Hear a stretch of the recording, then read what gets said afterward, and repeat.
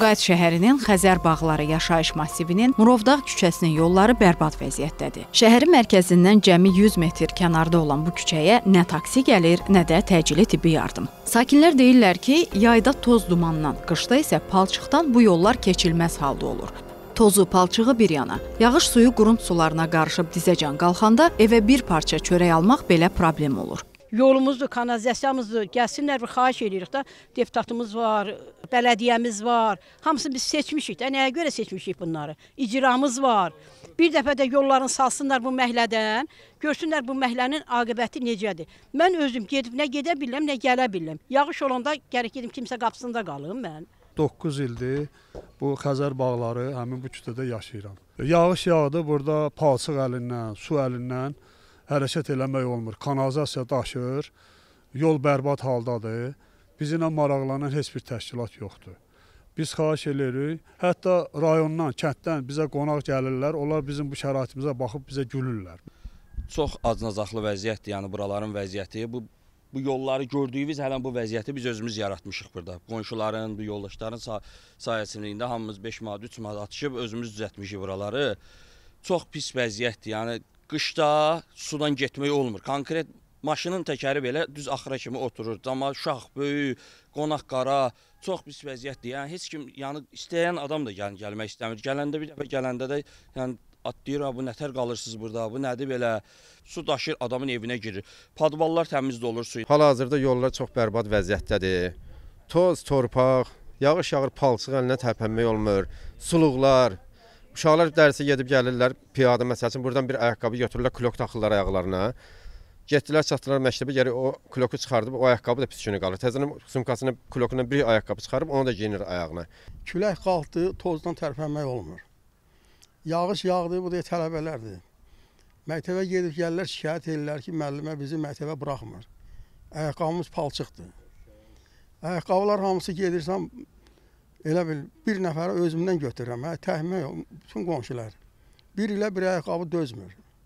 Daş altın yer aparır. Kənd yeri olsa dəyər yaşındır, kənddir. Axı buradan 10 metr çıxırsan şəhərə, hamı bizə baxır. Yolun vəziyyəti ilə bağlı Sumqayıt şəhər bələdiyyəsinə müraciət etdik. Bələdiyyənin mətbuat katibi Səbuhi Allahverdizadə Murovdağ küçəsinin yaxın zamanlarda asfaltlanacağını deyib. Sizin dediyiniz ə, e, ərazidə Xəzər bağları, Murovdağ e, küçəsi, həmin e, küçə ilə bağlı işlər nəzərdə tutulub, e, sosial-iqtisadi inkişaf planımıza salınıb. Həmin küçədə asfaltlanma işləri aparılacaq. Onlardan xəbərdarıq. Ən yaxın zamanda siz dediyiniz ərazilərə də asfalt asfaltlama işləri görüləcək. Ekoloqlar isə bildirir ki, belə ərazilərdə sanitar mühafizə zonalarının şərtlərinə əməl edilmədiyi üçün sakinlər vaxtaşırı kanalizasiya suları ilə bağlı çətinlik yaşayırlar. Kanalizasiya sisteminin olmaması, əhalinin kanalizasiya quyu quyularından istifadə etməsi ərazidə ciddi problem yaradır. Çünki tonlarla su istehlak olunur, amma bu tullantı suyun hara atıldığı məlum deyil və nəticədə qurunt sularının və lay sularının miqdarı artır. Və beləliklə də bu cür fəsadlar yaşanır. Nəqliyyat məsələləri üzrə ekspert Aslan Əsədov bildirir ki, qurunt suları olan ərazilərdə asfaltlanma işləri aparılan zaman əraziyə mütləq mühafizə edici vasitələr çəkilməlidir. Burada mühəndisi qurğular və hidrotexniki qurğular elə inşa olunmalıdır ki, ərazi qurunt sularından ə, qorun mühafizə olunsun, qorunulsun ə, və ərazidən qurunt suları digər texniki vasitələrlə uzaqlaşdırılsın.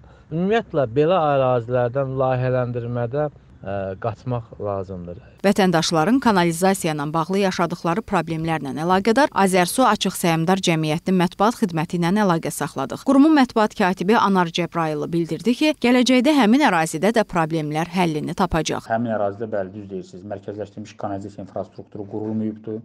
Həmin ərazidə bir hissəsində vətəndaşlar şambolardan istifadə edir, bir hissəsində isə onların özləri tərəfindən e, primitiv qaydada tikinti normalarına cavab verməyən, e, belə deyim, e, kanalizasiya xəttləri çəkilibdir və yağışlar olanda bəli, həmin ərazilərdə belə deyim, yağışlar həmin kanalizasiya xəttinə daxildildiyından onlar onu daşıya bilmir, müəyyən fəsadlar yaranır. Amma bizimkilər yoxlama aparıblar. Hal-hazırda həmin ərazidə kanalizasiya xəttləri yəni işlək vəziyyətdədir, heç bir tutulma yoxdur. Yalnız o tutulmalar da yağışla bağlı olur. Amma bizim master planımız var, bilirsiniz, Abşeron yarımada üzrə və gələcəkdə yaşayış massivlərində, bağ massivlərində həm içməli su, həm də tullantı su infrastrukturunun yaradılması planlaşdırılır və bunlar da gələcəkdə dövlət investisiyaları hesabına mərhələlərlə həyata keçiriləcək. Qeyd edək ki, sözü gedən küçədə 200-ə yaxın sakin yaşayır. Xahiş edirəm sizdən ki, gəlin bu yolları düzəldin. Xəstə var burada, körpələri var burada. Bir mağazinə göndərə bilmirik, suyun içində gəlirlər. Xədicə Səxavət Əli Əliyev, Fatma Zahid qızı, APA TV.